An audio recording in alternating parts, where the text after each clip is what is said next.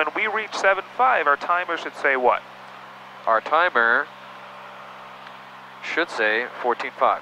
And our fuel should say? It should have burned uh, 5.8 gallons. Cool. Is this making sense? Yeah, it makes perfect sense. Easy. Easy. You see how all the work is on the ground? Yep. In the air, you're brain dead. Right. All I'm looking is confirming. Yep. Right? We're not thinking, we're not calculating, we're just confirming this against that. Yep. Make sense? Yep. That's it. Easy peasy. This is what navlogs look like.